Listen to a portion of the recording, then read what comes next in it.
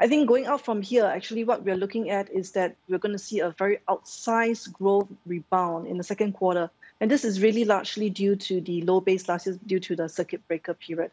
Um, we are looking for GDP growth to accelerate to as high as 15% year on year before it normalizes to more uh, reasonable levels in the second half of this year. I think if you look past this, um, generally we have had the MAS statement basically that they think that this year's full year growth could actually exceed the official growth forecast range of 4 to 6%.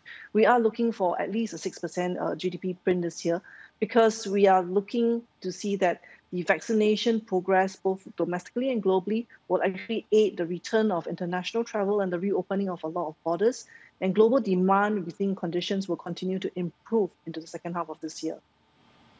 Right. So manufacturing did well, services lagged. Do you think uh, that the consumption story will pick up in uh, I think services quarters? will, yeah, I think services will play catch up. We are expecting services uh, to revert to positive growth for the rest of the year.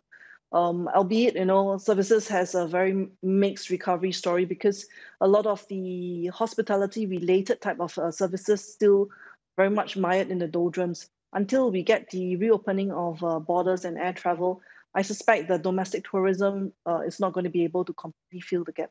But if you look at the bright side, um, some of the bright spots within services, Infocoms, uh, financial services, for instance, is actually uh, doing very well. And that continues to probably ball the services sector going forward.